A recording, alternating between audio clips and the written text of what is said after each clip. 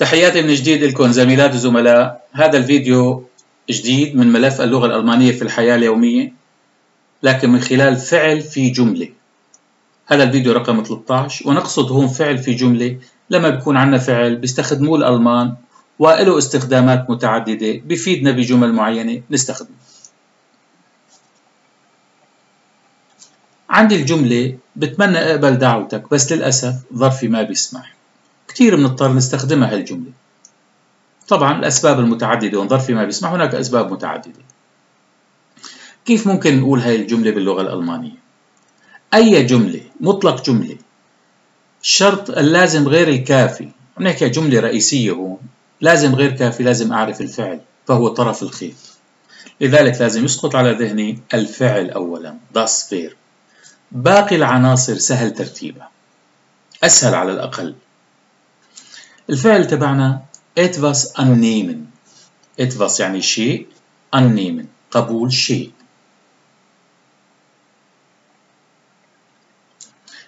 هذا الفعل مطاط كتير. لذلك لما نقول مطاط ممكن يستخدم بمواقع متعددة. يحتمل معاني متعددة.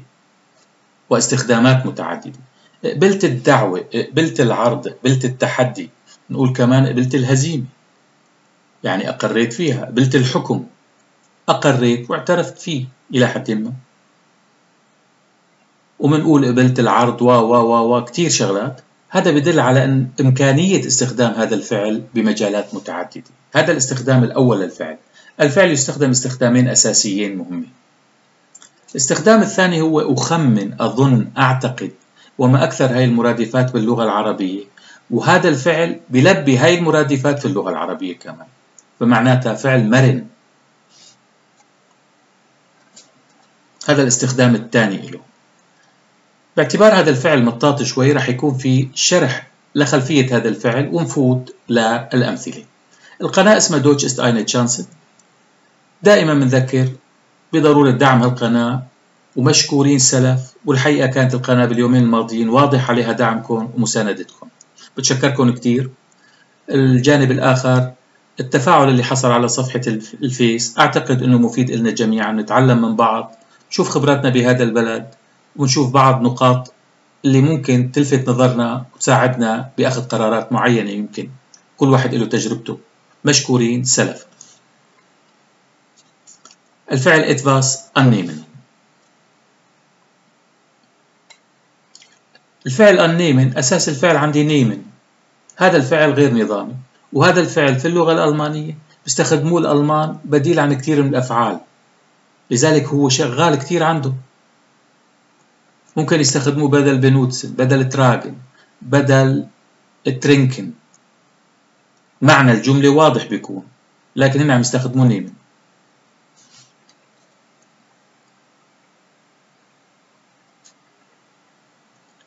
كمان عندي الفعل أب نيمن. إيش نيمة أب؟ تسو نيمن. إيش نيمة تسو؟ لما أكون عم بحكي مثلا لما واحد زادت صحته أو نقصت صحته. واحد عم يعمل ريجيم. abnehmen zunehmen زاد. عكس الفعل annehmen ablehnen. لكن ablehnen هو فعل نظامي بينما annehmen هو فعل غير نظامي. استخدامه بطريقتين. ich nehme؟ بالفراغ بنحط هال etwas هالشي اللي بدي أقبله an. طبعا ممكن أرفضه. ich nehme an das. بال Präsens ich nehme an. بال Präteritum ich nahm an. بيهمنا ال Perfekt ich na ich habe angenommen ومنلاحظ هون عندي ان نحن قلنا قبل شوي إنه فعل غير نظامي. فال Partizip zwei تبعه لازم نشوف فيه AN هاي عوامل لازم تساعدنا بالنظر تساعدنا على التعامل مع بعض الأمور. ولما نشوف الفعل haben معناته هو بيستخدم الفعل haben لتشكيل صيغة ال Perfekt etwas annehmen شو اللي ممكن أقبله؟ Einladung annehmen اجتني دعوة وقبلتها Angebot annehmen Herausforderung annehmen قبلت عرض قبلت تحدي. Herausforderung وما أكثر التحديات اللي بنواجهها بنواجهها بحياتنا حاليا.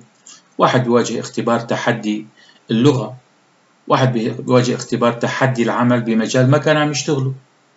وما أكثر هذه التحديات. فرشلاج النيمن قبول اقتراح. لذلك بنقول هذا الفعل مطاط وبيخدمنا بمواقع متعددة. نحن الحقيقة بنسمع الألمان بيستخدموه بس ما بننتبه.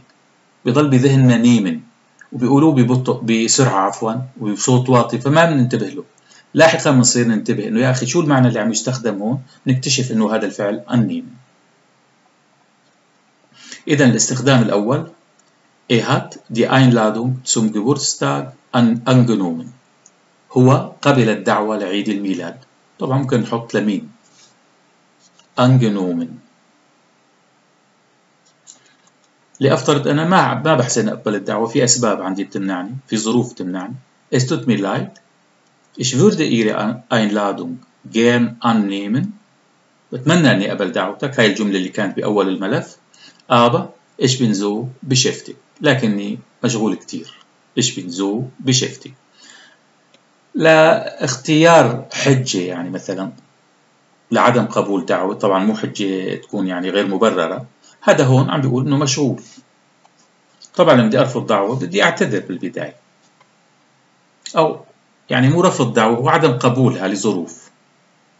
ممكن نقول ich habe wenig Zeit وإذا بدنا نقول أكثر من wenig بنضيف لها صفه ich habe viel zu وإذا بدي أزيدها كمان بدل فيل بنضيف مع فيل كمان صفة. ich nehme ihr Angebot an لأفترض عندي جار ألماني لاحظ أنه بدي مساعدة بشيء معين عرض علي عرض معين. فأنا قلت له إيش نيمة إيه أن. أنا قبلت عرضك. ممكن يكون مشروط ممكن كذا تفاصيل أخرى. لكن هون عم بستخدم الفعل الفعل إيش نيمة إيه أنجبوت أن. طبعا ممكن أرفضه. Wir haben das tolle Angebot sofort angenommen. نسمع بالعروض الموجودة بالبلد. كلها بيستخدم معها مثل ما شفنا بالكثير منها يستخدم هذا الفعل. نحن قبلنا العرض الرائع فورا. sofort العرض الجيد ما بيتفوت. Wir haben das tolle Angebot sofort angenommen. قبلناه فورا sofort Ich nehme die Herausforderung gern an. خيو أنا برواء وبمحبة قبلت التحدي. تحديات من ضمن التحديات اللي ذكرناها وكثيرة كثيرة هي التحديات في الحياة على كل الأحوال Die Schulleiterin nimmt den Vorschlag an. مديرة المدرسة قبلت الاقتراح.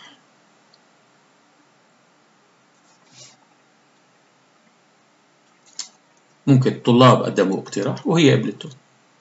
Mein Vorschlag wurde nicht angenommen. اقتراحي لم يقبل. wurde nicht angenommen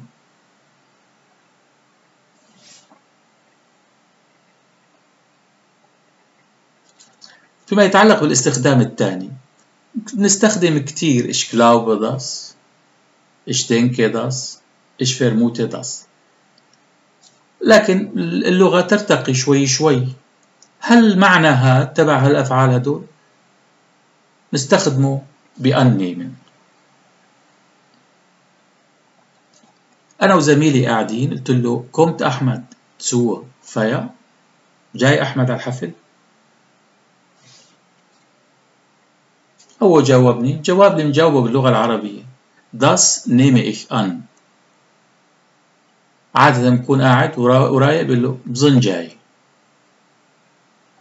هذا هو das nehme ich an.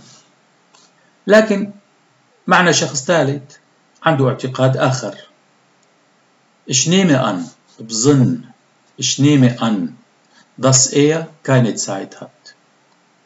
بظن إنه ما عنده وقت. معناتها كأنه عم يقول من وجهة نظره إنه ما راح يجي، بيعتقد إنه ما راح يجي. هاي فكرة الاستخدام الأولى والثانية. طبعا مثل ما قلنا بظن إنه Ich nehme ووراها ممكن استخدم كل الأشياء اللي فيها الظن. ممكن نحن أنا وواحد عم نتناقش إنه قديش عمر هالولد؟ بقول له ممكن أقول له إنه بظن إنه عمره ست سنوات. أحيانا كمان لما تكون عم توجه بعض اللوم لشخص معين تقول له بظن إنه بكرة عندك مدرسة.